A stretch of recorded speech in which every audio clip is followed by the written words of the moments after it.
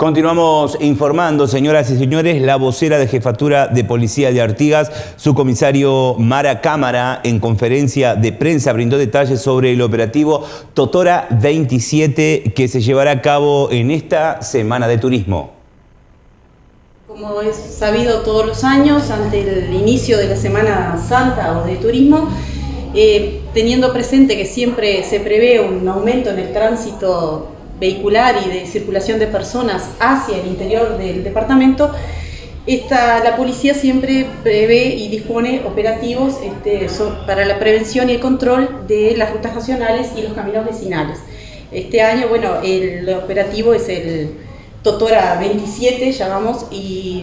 se va a llevar a cabo a partir del día de la fecha, 31 de marzo, hasta el 10 de abril, lunes 10 de abril inclusive. Ese mm, operativo consiste, en, entre otras cosas, en este, implementar puestos de control en lugares estratégicos del departamento este, y controlar em, eh, vehículos y personas. Este, tenemos la colaboración también de las fuerzas amigas como el Ejército y eh, Policía Caminera y la Dirección Nacional de Bomberos. Y entre otras cosas también intensificar el patrullaje dentro de las zonas urbanas y suburbanas eh, sobre todo en lugares también estratégicos como la zona de la terminal de ómnibus, plazas, este, los, eh, los, accesos hacia la ciudad, este, para evitar precisamente porque se sabe que hay un, flujo importante y bueno, y realizar, tratar de realizar el operativo con éxito. Eh, esos operativos van a ser, esos este, controles van a ser este, en forma aleatoria y sorpresiva y bueno,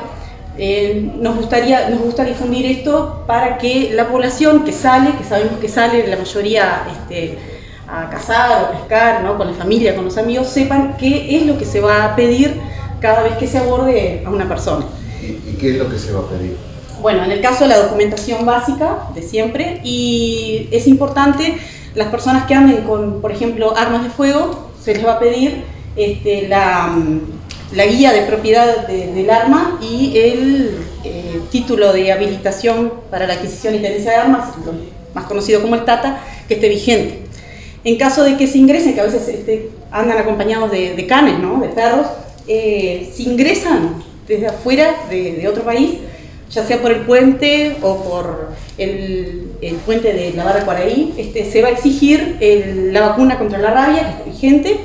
se va a exigir también la lesmaniasis negativa y se va a exigir el certificado de desparasitación.